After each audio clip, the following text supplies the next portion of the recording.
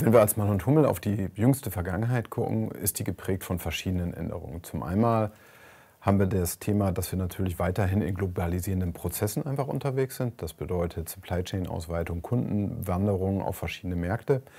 In den wirklich naheliegendsten Epochen, die wir jetzt gesehen haben, beschäftigt uns natürlich die Umstellung von Antriebssystemen sehr stark. Das bedeutet weg vom Verbrenner hin zur Elektromobilität, batterieelektrisch, aber auch mit Blick auf das Thema Wasserstoff. Wir haben natürlich auch immer wieder den Blick der Synthetic Fuels im Auge.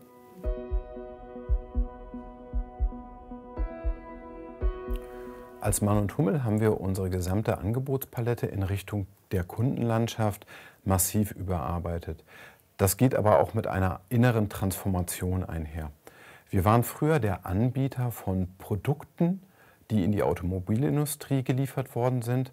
Und so haben wir uns heutzutage gewandelt in einen Lösungsanbieter für saubere Mobilität. Neben dem Thema saubere Mobilität haben wir links und rechts in dem gegründeten Bereich Life Sciences und Environment zwei zusätzliche Themen angedockt, saubere Wasser und saubere Luft. Somit sind wir als Mann und Hummel jetzt in der Lage, für unsere Kunden einen Dreiklang aus sauberer Mobilität, sauberem Wasser und sauberer Luft anzubieten. Saubere Luft und sauberes Wasser sind aus unserer Sicht Menschenrechte, die in starker Gefährdung stehen. Heutzutage haben die überwiegenden Anteile der Bevölkerung, der Weltbevölkerung, nicht mehr den Zugang zur sauberen Luft und zu sauberem Wasser. Und hier bedarf es Lösungen, damit wir sauber in die Zukunft leben können.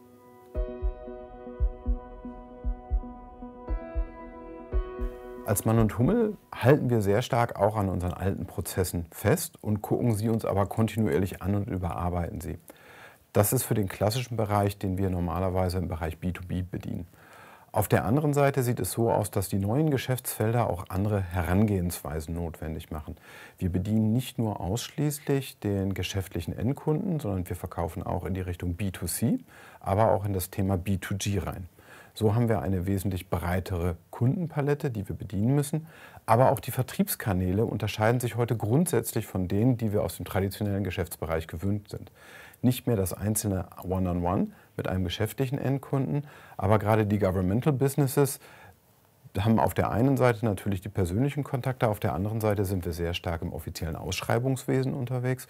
Und darüber hinaus, wenn wir zum Beispiel auf antivirale Luftreiniger gucken, wird dieser Markt sehr stark auch von Endkunden ähm, dominiert. Und auf der anderen Seite wollen diese Kunden entweder den direkt persönlichen Zugang oder einen Zugang über Distributoren und darüber hinaus auch das Thema E-Commerce.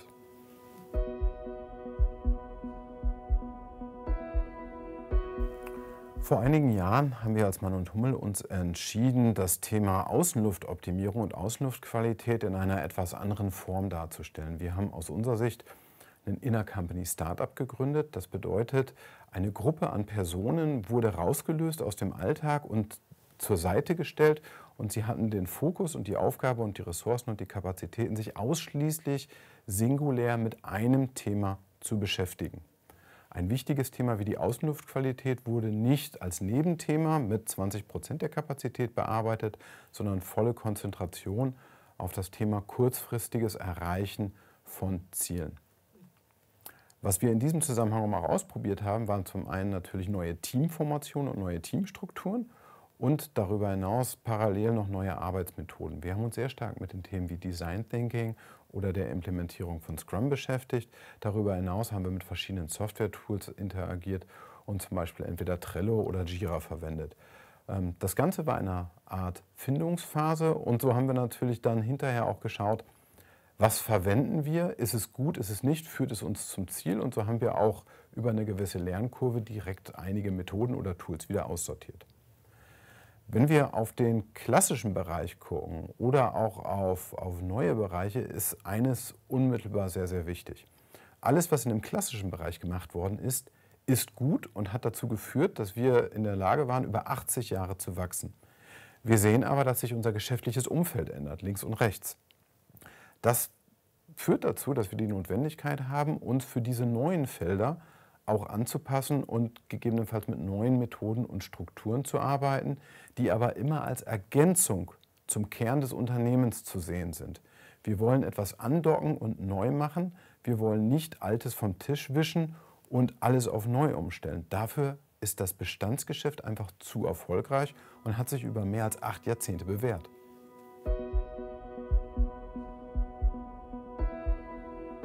Neben den Inner-Company-Startup-Strukturen haben wir als Mann und Hummel auch noch einen zweiten Weg beschritten. Wir haben unser eigenes äh, Startup-Programm gegründet, das nannte sich InCube.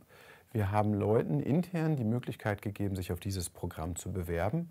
Und die Gewinner dieses Bewerbungsverfahrens wurden dann für sechs Monate in die Vereinigten Staaten, in Silicon Valley geschickt und hatten die Möglichkeit, dort ihre Geschäftsidee als eigenständiges Unternehmen auszureifen. Wir sehen mittlerweile, dass wir über diesen Weg einfach mehrere kleinere Unternehmen gegründet haben, die sehr stark mit Mann und Hummel verwoben sind, aber ihre Eigenständigkeit haben. Einige Unternehmungen haben wir auch wieder eingestellt und andere sind dabei, sich zu etablieren. Diese neuen Start-up-Systeme haben nicht unbedingt etwas mit dem Kernprodukt der Filtration von Mann und Hummel zu tun, sondern sehr stark legen wir unseren Fokus hier im Besonderen auf digitale Geschäftsmodelle und digitale Prozesse, die unseren Kunden über die reine Filtration hinaus einen Mehrwert bieten können.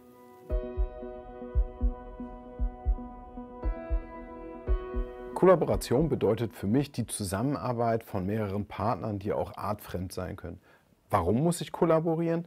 Ich bin nicht mehr in der Lage, alles alleine darzustellen in dieser immer schneller werdenden und komplexeren Welt, sondern ich baue mir ein Team aus Partnern, ein Konsortium zusammen, wo ich sagen kann, eins und eins und eins ist nicht drei, sondern vier, wo wir die Kompetenzen aller Partner bündeln, um schnell mit neuen Ideen und Produkten am Markt zu sein.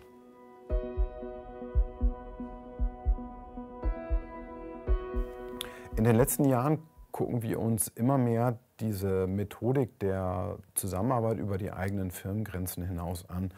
Und da gibt es mehrere Aspekte, die für uns im Fokus stehen. Auf der einen Seite ist es so, dass wir uns sehr stark in Mittelstandsplattformen ähm, engagieren und etablieren mit wachsender Tendenz. Ähm, unter anderem zum Beispiel der Maschinenraum von Wissmann in Berlin, wo wir jetzt äh, neu Mitglied sind. Auf der anderen Seite haben wir auch an Universitäten wie Heilbronn den Europäischen Digital Hub platziert, wo wir immer die Nähe zu Start-ups suchen, aber zu universitären Landschaften, weil es einfach wichtig ist, dass wir miteinander lernen und miteinander interagieren. Kollaboration ist aus meiner Sicht unumgänglich und unbedingt wichtig. Warum? Ähm, heutzutage ist es so, dass der Markt von einer ungeheuren Dynamik geprägt ist. Als Unternehmen bin ich nicht mehr in der Lage, diese unglaublich starken, komplexen Systeme und Vorgänge und Prozesse alleine zu beherrschen. Ich brauche dafür sehr viel tiefgehende Expertise. Tiefgehende Expertise, wenn ich sie nicht bereits habe, bedeutet Investition von Zeit und Ressourcen. Das bedeutet, es macht mich langsam. Heutzutage ist es nicht so, dass der Große den Kleinen dominiert, sondern der Schnelle den Langsamen. Und Netzwerke führen dazu, dass ich für Anfragen, für spontane Erkenntnisse, für Anforderungen des Marktes zusammen mit Partnern in einer Kollaboration wesentlich schneller in der Lage bin, Lösungsmöglichkeiten bis hin zu neuen Produkten zu erarbeiten.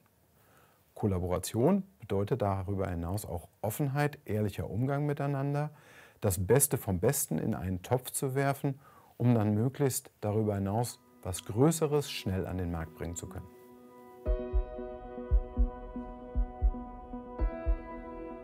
Zum Workshop mit Fujitsu bin ich als erstes als Referent gekommen.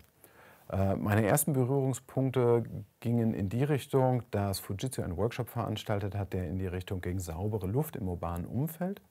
Und da Fujitsu darauf aufmerksam geworden ist, dass ein Ergebnis des Inner Company Startups, das ich gegründet habe, äh, das Thema Außenluftoptimierung und Reduzierung von Schadstoffen war, äh, bin ich gebeten worden, meine Erfahrungswerte, meine Erfolge über einen Impuls- und Kurzvortrag in einen solchen Workshop einzubringen.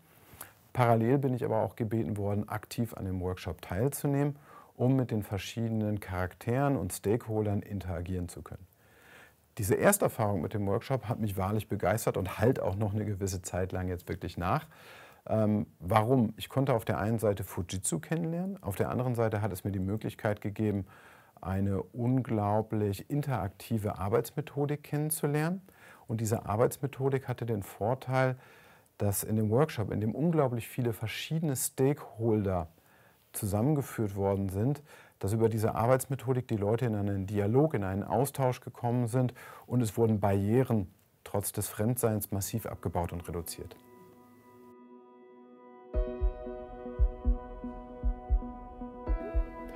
Business-Netzwerke gewinnen an Bedeutung, weil sich unsere Landschaft um uns herum kontinuierlich ändert. Ich brauche ein großes Netzwerk, aus dem ich ganz viel Informationen und Impulse zurückgespielt bekomme, um zu sagen, ich kann meine Produktlandschaft, meine Services, meine Entwicklungen auf diese Anforderung dieses Marktes aufbauen. Und da hilft mir nicht ein singulärer Input, sondern ich brauche vielfältige Informationen.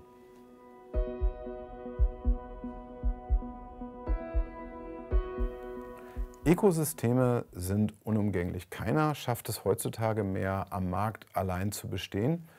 Wenn man gerade auch in neue Marktsegmente hineinschaut, die sich erschließen.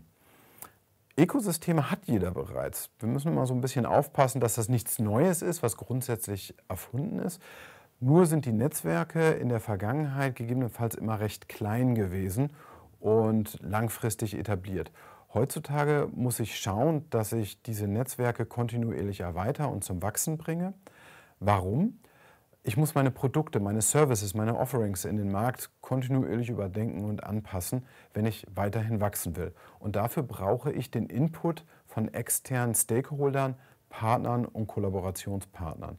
Und diesen Input, den bekomme ich zum einen über stetig sich ändernde und wachsende Netzwerke, aber auch über das Thema Coworking Spaces, Kollaboration und entsprechende Arbeitsmodelle.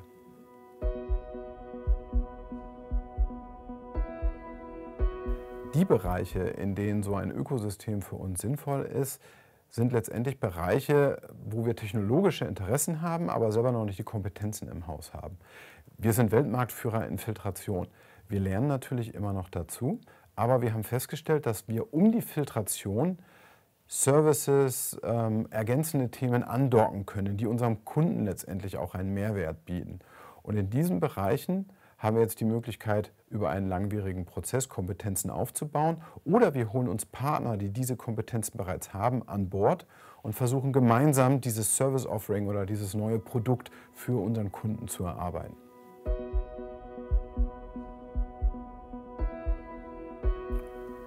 Ich weiß nicht zwingend, ob das was mit der Größe der Idee zu tun hat, ob es eine kleine oder eine große Idee ist. Ich glaube, was wichtig ist, ist, dass wir die Personen, die an der Idee arbeiten, abholen und mitnehmen. Dass wir in der Lage sind, in den Personen einfach ein Feuer zu entfachen, eine gewisse Begeisterung, ein Connect.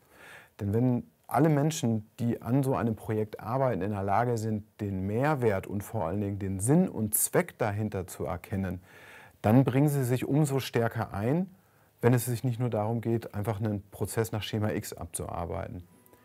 Identifikation und Engagement ist hier der Schlüssel.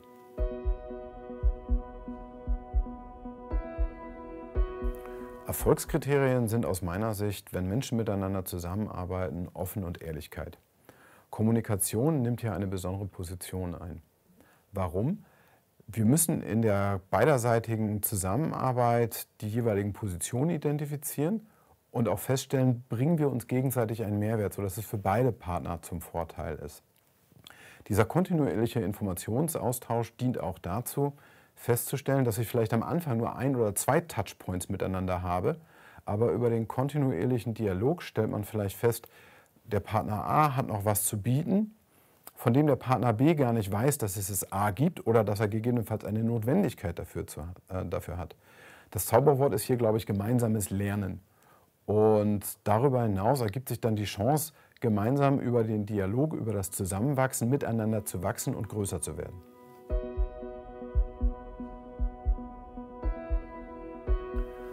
Welches Lebensmotto beflügelt mich für mehr Nachhaltigkeit?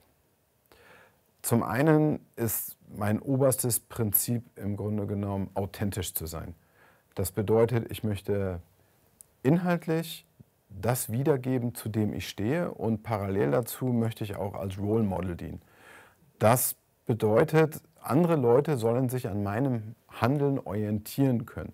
Das bedeutet, ich habe natürlich so ein bisschen den Druck, dass ich als Leitbild fungiere. Das ist aber auch der Anspruch an mich selber. Beste Beispiele. Ich bin heute zu diesem Termin, obwohl es 40 Kilometer waren, mit dem ÖPNV gekommen. Bus und Bahn.